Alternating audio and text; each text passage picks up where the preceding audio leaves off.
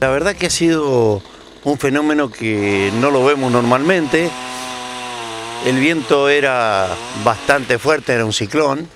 Eh, la lluvia, nosotros estamos a, 40 metros de ahí de, la salida de la calle Chacabuco del Parque Norte y desde mi casa veíamos las luces pero no veíamos qué vehículo era.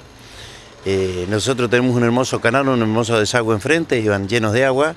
La calle Tirazo era un canal eh, y realmente daba cierto temor las consecuencias que podía traer.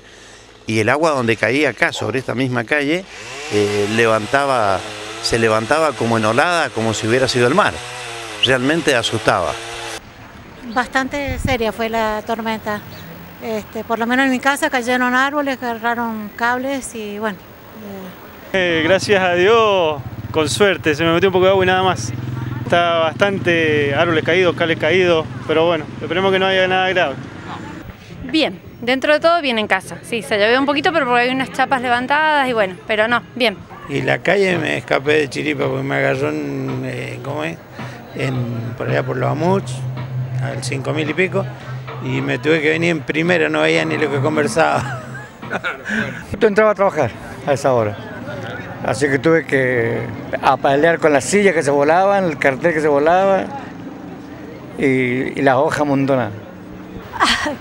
Bien, bien y mal, porque se me llenó de agua, se me entró agua por la vereda, por la casa, por atrás, que se me mojó, se entró agua abajo el lavarropa, así que estoy furiosa.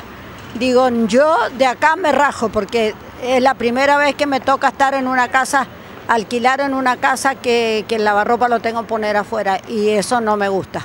Y nuevo. Se llenó de agua abajo, así que me puse mal. Y más o menos.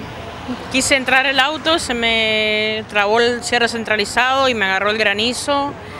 Terrible, pero gracias a Dios bien, bien.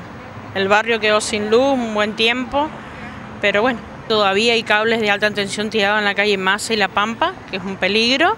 Está cruzando la calle y todavía está tirado, hasta esta mañana estaba tirado, cortada la calle La Pampa.